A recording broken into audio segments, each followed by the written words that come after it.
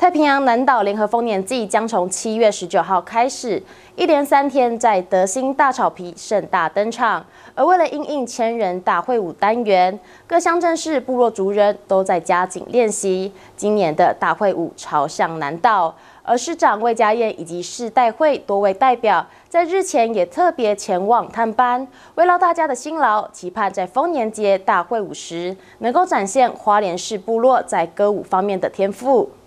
为了迎接花莲县年度盛事太平洋南岛联合丰年节，花莲市部落妇女们利用晚间时间在公所前广场加紧练习今年的大会舞朝向南岛。这次风格有别以往，暌违十多年，再次选用泰鲁格主语当主题曲。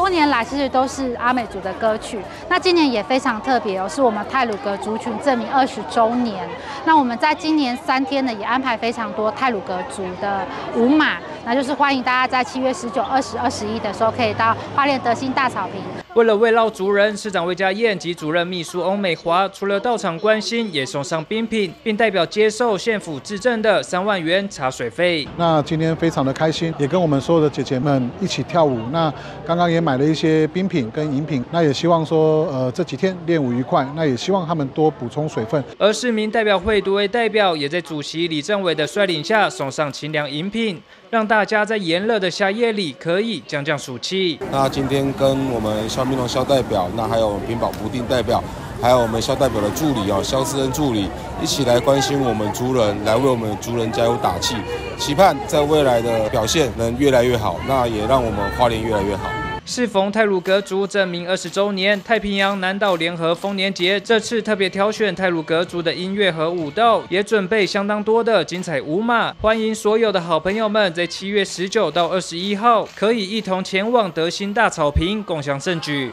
记者徐丽晴，华联市报道。